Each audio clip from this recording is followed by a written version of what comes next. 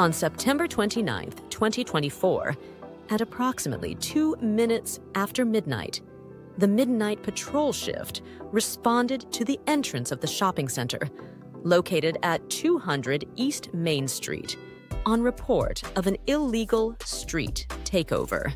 Patrol units arrived on scene to find several hundred vehicles and a fully involved illegal street takeover in progress.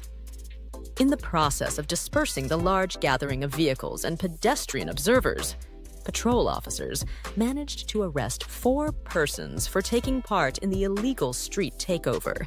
Carlos Sanchez Hernandez, July 16, 2004, was charged with breach of peace and issued an October 16, 2024 court date.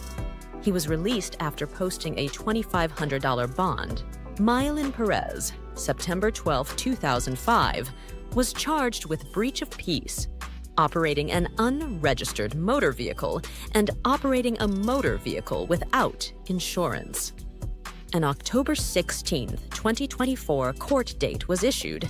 She was released after posting a $20,500 bond. Rodney Gist, January 18, 1999, was charged with breach of peace and issued an October 16, 2024 court date. He was released after posting a $20,500 bond. Tyler Ranger, July 8, 1998, was charged with breach of peace and issued an October 16, 2024 court date. He was released after posting a $2,500 bond.